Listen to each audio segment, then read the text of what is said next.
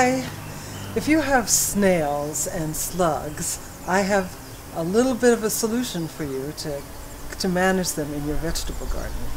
Uh, the worst thing about snails, and probably slugs too, is that they eat the seedlings.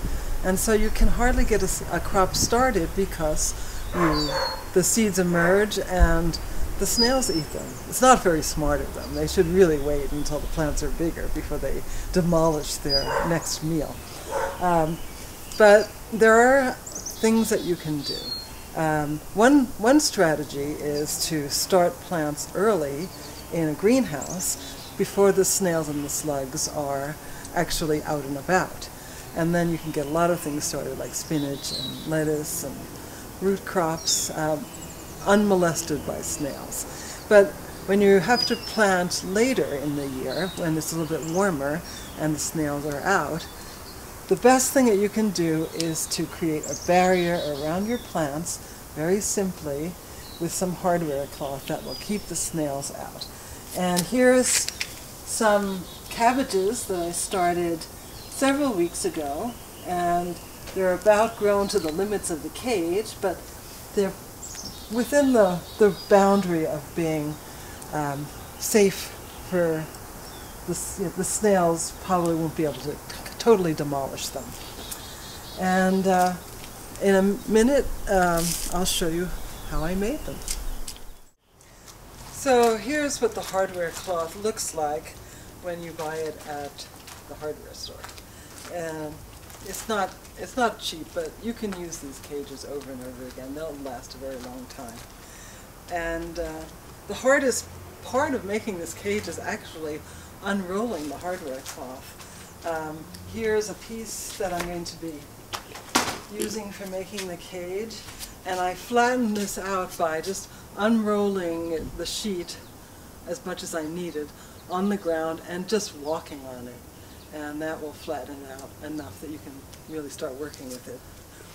The items you'll need to do this are your piece of hardware cloth, a block of wood for folding, tape measure, pen, tin snips, and some wire, or you can use twist ties uh, for, for holding the the bent pieces together. So you want to have at least a five inch apron from the top of the cage going down to the ground to give the plant space to grow upward. So you can use a tape measure and just measure. What you want to do is you want to find I'm using five inches here, you want to find the, the wire that corresponds to five inches or so. And then once you find that wire, you can just take the marking pen and start coloring that wire. Just following it all the way down to the other end. And continuing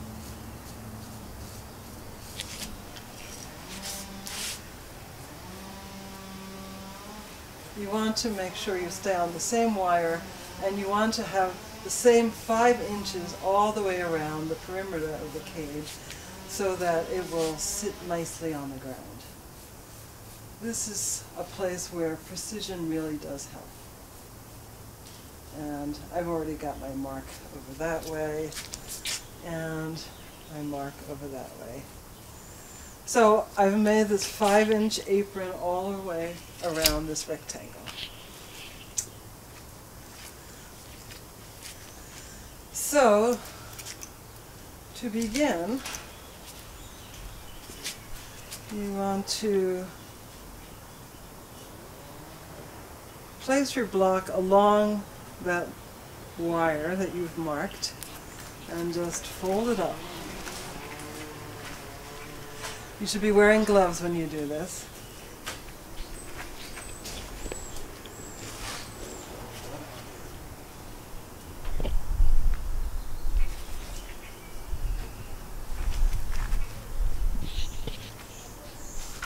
And the block is for making sure that you're doing the fold evenly all the way around. And you can also use a hammer to bend it. And now we'll just continue around.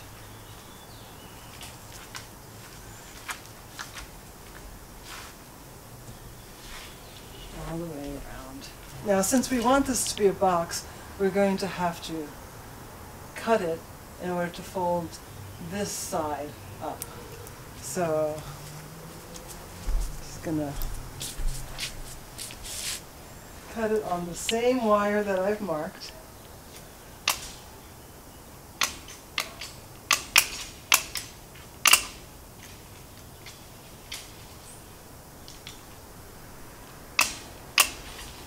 This will be bent over on the other side of this, but first we'll this has already been pre-marked.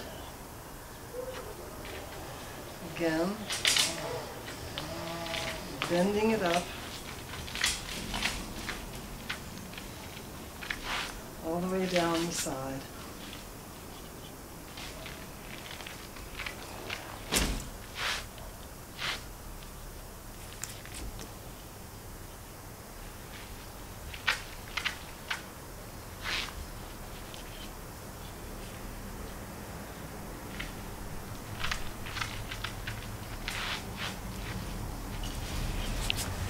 Now, we can finish this corner by wrapping it over.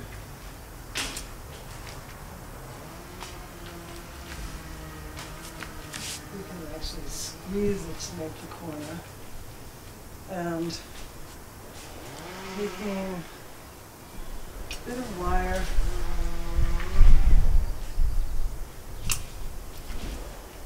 pulling the wire into a kind of a a V or U shape, and then you can push the wire through and just tie it. And you can put a couple of wires in. And then just continue around the cage until it's done. Uh, you want to put the, the wires that hold these together kind of close to the edge. And two is probably better than one, but two is enough. Then you can just, you know, just one more time do folding along. Pinch the corners so it will stand as best as possible. And then it's ready to be put into the garden. And uh, you don't have much room for storage in the winter, you can undo these uh, wires and just flatten it out and do it again next year. And uh, I think I'm going to actually show you how these can be moved because these cabbages that I planted in March. You can plant cabbages in fairly cool weather. Um, they're now big enough to withstand a little bit of snail damage. And I've just planted some pepper plants that I think could use a little bit of protection. So what you do is you just lift it up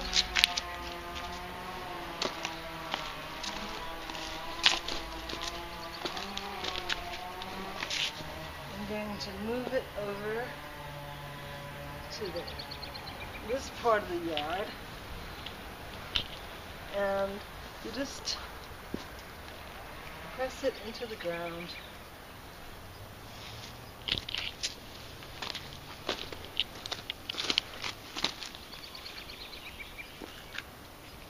Make sure you're clearing all the plants you need to clear.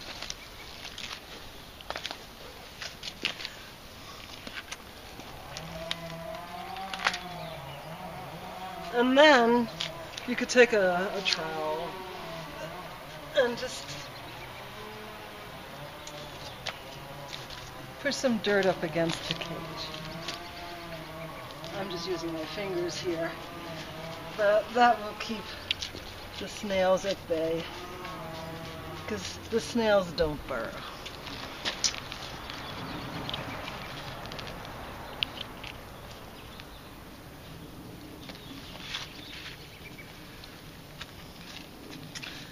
And there you have it. So come back for some more great gardening ideas. I have lots more things to show. Uh, many things for how to save some money and also how to get more plants out of a small space and why not subscribe to my channel? Then you won't miss anything. See ya and thanks for watching.